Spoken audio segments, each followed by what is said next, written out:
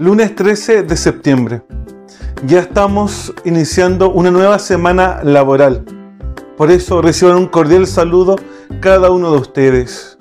Y en este día la liturgia nos presenta un evangelio donde a Jesús le hace una solicitud y le piden que vaya a sanar al sirviente de un centurión, que incluso lo justifican, diciéndole que es digno y que quiere mucho a su pueblo que incluso le había ayudado a construir una sinagoga. Pero Jesús atiende a su clamor no porque lo consideraba digno como tal, sino porque vio en él algo que no había encontrado en los demás.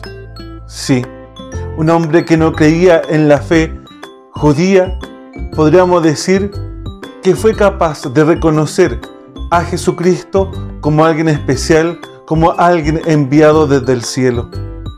Por eso Jesús fue capaz de realizar este milagro.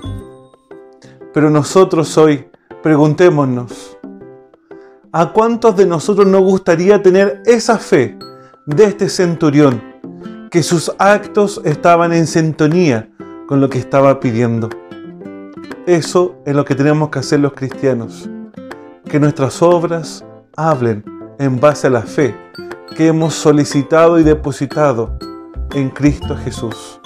Que esté muy bien.